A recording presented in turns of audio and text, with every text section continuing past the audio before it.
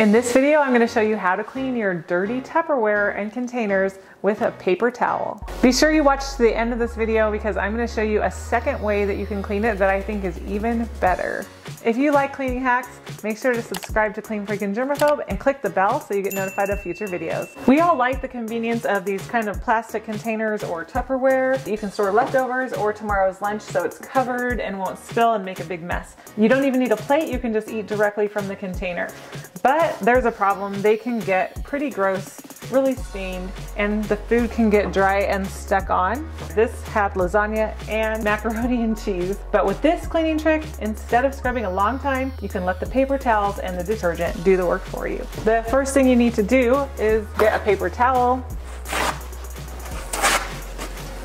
put the paper towel inside the container, put a little bit of dish soap, add some water,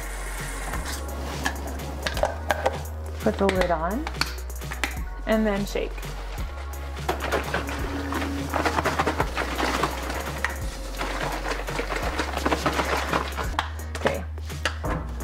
Then remove the lid, take out the paper towel,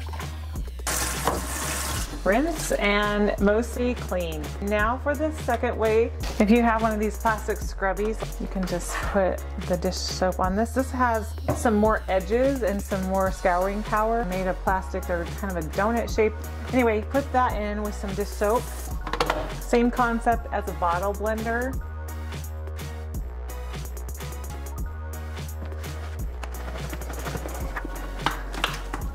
That was a lot faster, but we did most of the work.